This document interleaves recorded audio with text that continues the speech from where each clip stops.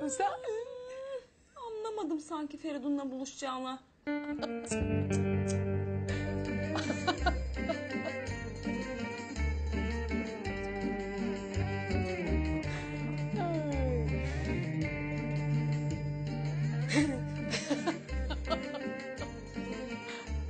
Ay harika bir eser.